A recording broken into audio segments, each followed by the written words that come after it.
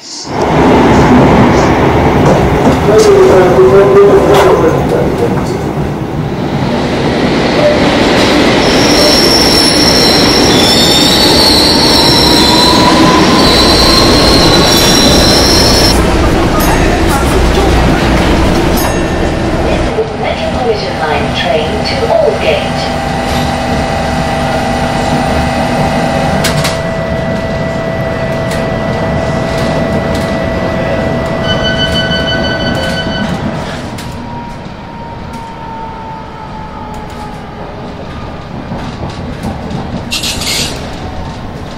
Ladies and gentlemen, on platform two, there, is a train up ahead at King's Cross with a person ill on an actual train.